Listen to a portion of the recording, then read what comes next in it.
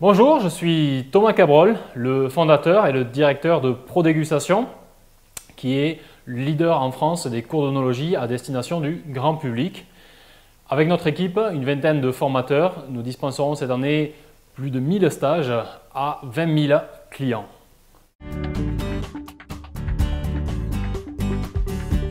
Alors lorsque la collaboration a démarré il y a environ 5 ans avec euh, Into the Minds, euh, ProDégustation avait ses ventes qui stagnaient euh, dans un environnement global hein, du marché du vin qui était plutôt en phase de déclin à cette époque-là. Et hum, les perspectives d'avenir n'étaient pas très, très réjouissantes. Malgré que ProDégustation soit profitable, était profitable à cette époque-là, euh, j'ai vraiment voulu réinventer le business model de la structure.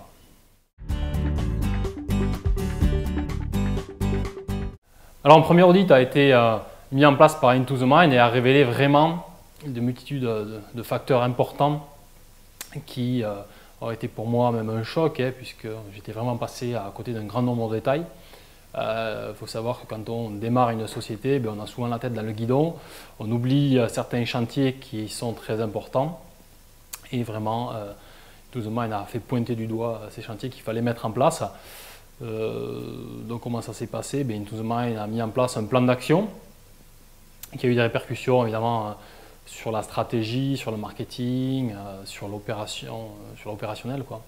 Euh, donc on a mis ça ensemble, ce que j'ai apprécié, hein, c'était pas eux de leur côté et nous de notre. Ensemble, on a pu travailler tout en sachant que le consultant To The Mind était complètement autonome, et, ce qui me permettait vraiment aussi de m'occuper de mon côté de différents chantiers.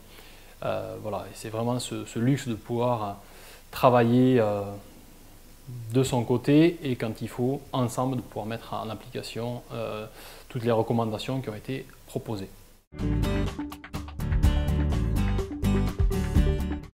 Alors les résultats ont été visibles dès la clôture du premier exercice au cours duquel Into the Mind avait intervenu, à savoir qu'aujourd'hui, euh, le taux de rétention, la fidélisation a été multiplié par 5, les marges par 3 et euh, le nombre de clients annuels sur la base annuelle a été multiplié par 50%. Euh, aujourd'hui, on peut se targuer d'être le leader incontesté sur hein, le marché de la formation onologique à destination du grand public, avec approximativement deux tiers de part du marché.